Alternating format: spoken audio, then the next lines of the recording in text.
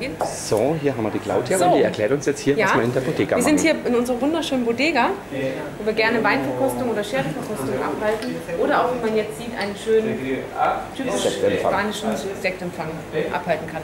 Wenn man, wenn man sozusagen ein Event macht, kann man hier einen Sektempfang machen. Ja, Super schön, ganz toll Sehr tolle. Location.